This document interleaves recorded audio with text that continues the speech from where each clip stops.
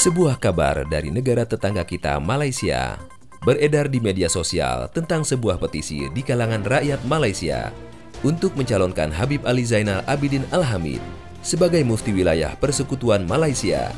Kurang lebih petisi tersebut ditandatangani lebih dari 40 ribu warganet Malaysia.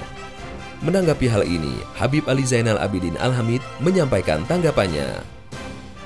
Dengan sikap tawadu, beliau lebih menyarankan kepada ulama yang memang ahlinya di usul fikih, berazaskan ahlu sunnah wal jamaah, mengikuti akidah al-imam Abul Hasan al-Ashari, dan bermazhabkan syafi'i, sebagaimana mazhab yang dianut warga Malaysia pada umumnya. Jabatan sebagai mufti itu adalah uh, tugasan yang begitu berat uh, disebabkan oleh karena tanggung jawabnya kepada Allah Subhanahu wa taala uh, adalah besar. Uh, ajra'ukum 'alal futya, ajra'ukum 'alan nar. Diingatkan oleh Nabi uh, peringatan yang begitu menggerunkan uh, tentang orang kalau tidak berhati-hati di dalam uh, memberikan uh, fatwa.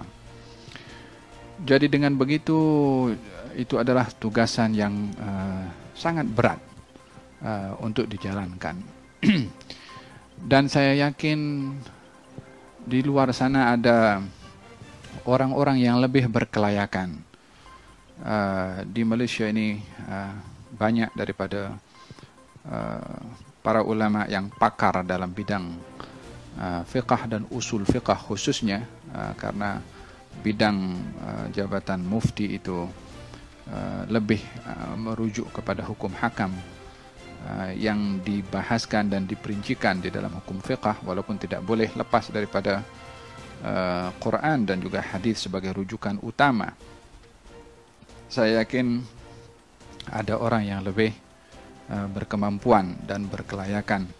Uh, tentunya mereka uh, adalah orang-orang yang uh, membidangi bidang uh, uh, fatwa uh, berpegang kepada ahli, dapan, uh, apa, pegangan ahli sunnah wal jamaah. Uh, tentunya adalah uh, ahli sunnah wal jamaah yang berpegang kepada al-imam Abu Hasan al-Ash'ari dan juga uh, madhab syafi'i yang menjadi keutamaan uh, di Malaysia ini menjadi landasan dalam uh, fatwa.